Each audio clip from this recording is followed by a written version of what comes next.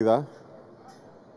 Y dieron la salida y se fueron a la lucha. Aipa domina en los primeros 100 metros, tiene ventaja de un cuerpo a Maya Besito adentro en el segundo lugar. En el tercero, a tres cuartos colocado está Mr. Coronel en lucha afuera con José M, dos cuerpos más atrás. En el quinto, Mr. Castrello, el último puesto es de Hipócrates. Así van acercándose ya a pasar el poste de los 700 metros. Aipa tiene ventaja de dos cuerpos, a Maya Besito al segundo, a uno José M al tercero, a uno en el cuarto, Mr. Coronel, a un cuerpo en el quinto, Mr. Castrello. Hay para el frente. En los 500 despega dos cuerpos y medio. A Mayavecito en el segundo lugar, a uno José M al tercero, a dos. En el cuarto, el ejemplar Mr. Coronel, seguido de Mr. Castrello. Así están entrando a la recta final y Aipa abre ventaja, se despide en la delantera. Tiene siete cuerpos en los últimos 200 metros. A Mayavecito defiende el segundo. José M le amenaza afuera. Aquí en los últimos 100 metros, Aipa fácil. Tiene seis cuerpos mínimo al frente. En los 50 no puede perder.